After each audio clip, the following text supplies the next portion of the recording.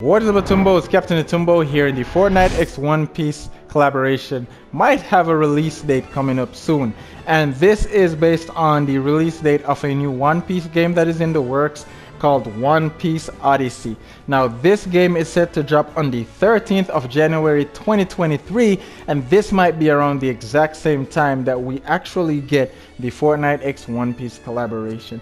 It would be obvious that it would be some form of a collaboration where they would have us purchase the game One Piece Odyssey and we would probably get either a digital code or by simply linking our epic to the account we might just get a free something free for the event and then obviously we'd have skins in the item shop for us to get.